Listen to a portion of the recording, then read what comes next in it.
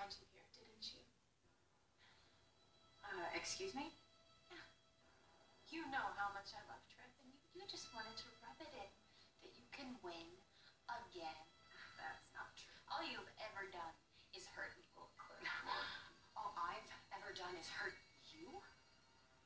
You stole Theo from me. You stole the was special, Ciara, and you, you took that away from me. You ruined it!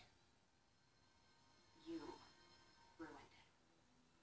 You lied to him. You tricked him. You busted him to the police. That's why he doesn't want to be with you, Claire.